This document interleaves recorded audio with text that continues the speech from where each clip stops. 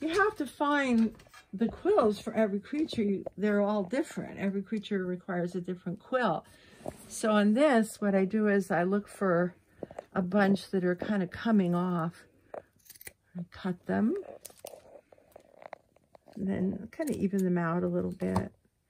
And then like this is a short quill.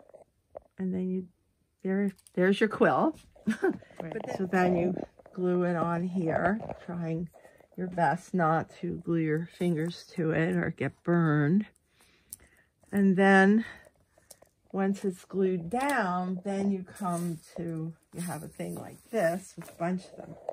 And then you have to cut it really close like this and trim it. And then you're ready to put your quill on your porcupine. So that's that's those quills. Then, of course, you have these quills. I have to make those, too, out of a big raffia thing I have. And then there's these extras. And then you have to find the eye. And, and all of them, a great feature is they all have toes, which is the first time any creatures had toes. They all have toes this year. So that's kind of the process of making them. There he is, this guy. But see, the other side isn't done yet. So now I have to do the other side. Mm.